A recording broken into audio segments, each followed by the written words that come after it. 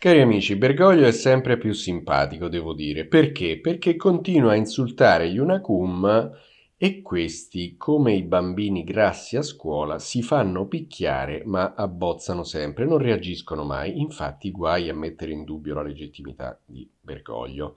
Allora, nell'udienza generale in piazza San Pietro, ieri Antipapa Francesco ha eh, detto quanto segue. Ascoltiamo insieme queste meraviglie.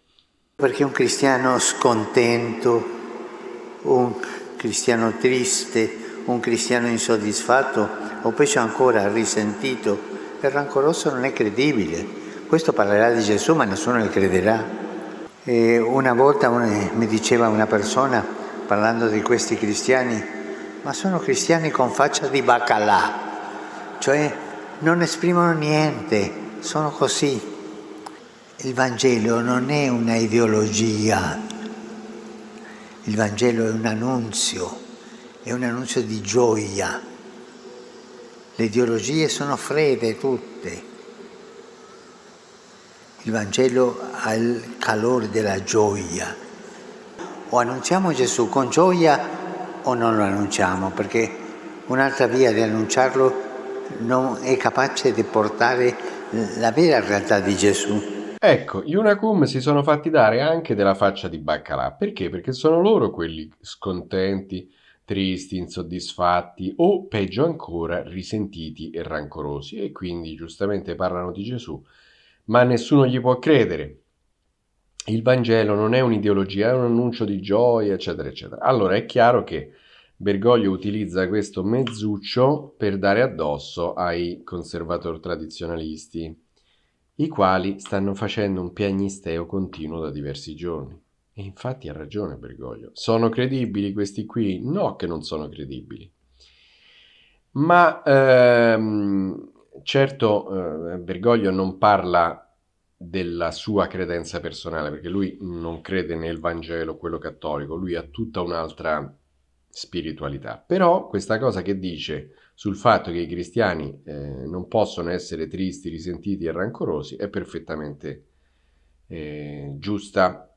E infatti, infatti, voi che siete eh, in contatto con la realtà oggettiva dei fatti e avete capito che Papa Benedetto non ha mai abdicato ma si è offerto alla sua detronizzazione la sede impedita, siete gioiosi, siete sollevati. Tantissime persone mi dicono grazie dottore perché quando ho letto il libro Codice Ratzinger ho capito finalmente che eh, Bergoglio non era il Papa, io intuivo questo non mi stava simpatico, non mi piaceva, vivevo questa cosa con senso di colpa, lo dicevo al mio confessore, adesso ho capito che finalmente non è il Papa.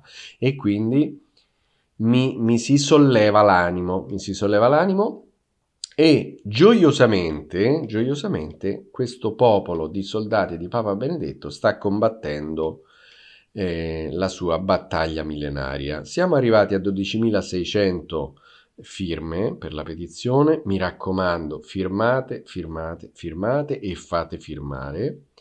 La petizione è l'unica cosa che voi potete fare per manifestare eh, non solo il sostegno ai cardinali autentici che si spera interverranno presto, ma anche per notificare alla Chiesa Cattolica questa nullità di, delle elezioni di Bergoglio. Quindi io noto che eh, tra le persone che mi scrivono, le persone eh, che collaborano con me volontariamente, c'è sempre il sorriso, c'è sempre la gioia, il divertimento, l'ironia, le risate continue, le vignette che poi il professor Viglione mette agli atti e eh, poi, tu... poi faremo i conti con questa vignetta, capirete? Hanno detto i triari a 3-7, adesso poi noi un giorno gliela faremo pagare. per la vignetta dei triari a 3.7. Mi sembra un po', un po deboluccia, diciamo, per, per una querela, una cosa del genere.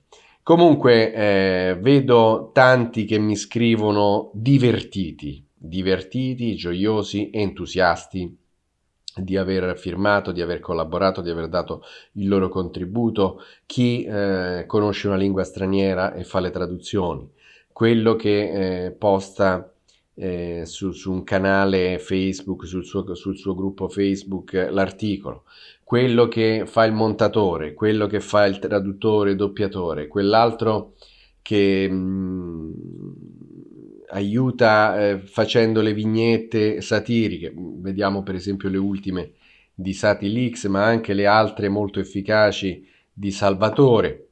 Ognuno dà il proprio contributo secondo quelle che sono le proprie capacità, il proprio tempo, le proprie energie, le proprie competenze.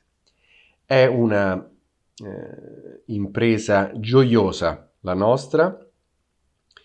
La gioia principale è capire che non si sta vivendo la tragedia di un papa diavolo, di un papa eretico, di un papa che è una croce, di un papa che è un castigo di Dio, ma di un antipapa che tutte queste cose e quindi questo fa risaltare la luce di Papa Benedetto. Lo stesso Santo Padre concludeva il suo libro postumo Che cos'è il cristianesimo chiosando con questa frase. Ringrazio Papa Francesco perché ci mostra che la luce del Signore non è tramontata. Eh, ovvio, no?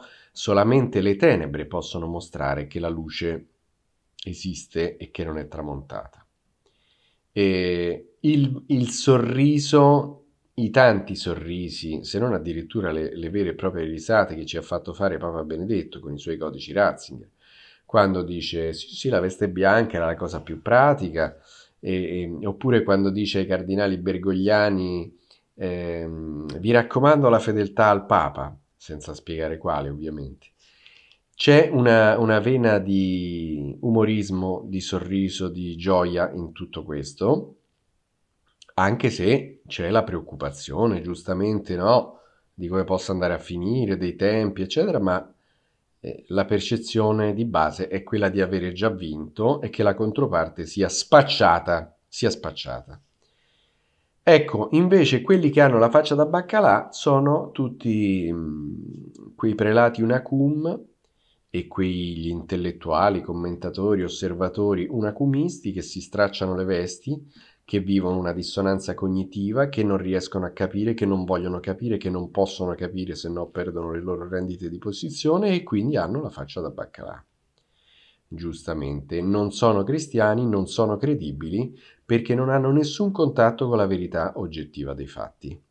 Quindi chi rifiuta la verità, come può dirsi cristiano se Cristo è verità, vita e via? Ecco, quindi, eh, caro Bergoglio, i veri cristiani hanno la gioia di dichiararti guerra totale e senza quartiere. Ecco, mh, mm, lei ha fatto questo meccanismo veramente patetico da PNL al, al, primo, al primo, anno di associare questa, questo concetto dei cristiani tristi con la faccia da baccalà, rancorosi, eccetera, alla preghiera per la pace.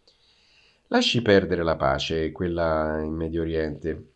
Noi siamo qui a portarle una guerra totale. Noi siamo qui per distruggere tutto quello che lei ha fatto dall'inizio alla fine, ma non, non siamo noi. Diciamo, aiutiamo il vicario di Gesù Cristo Benedetto XVI in questa opera per annullare, annichilire, atomizzare tutto quello che lei ha fatto dall'inizio del suo antipapato. Una bella soddisfazione, eh? Vedere che tutto quello che si è costruito faticosamente in dieci anni crollerà miseramente come un castello di carte.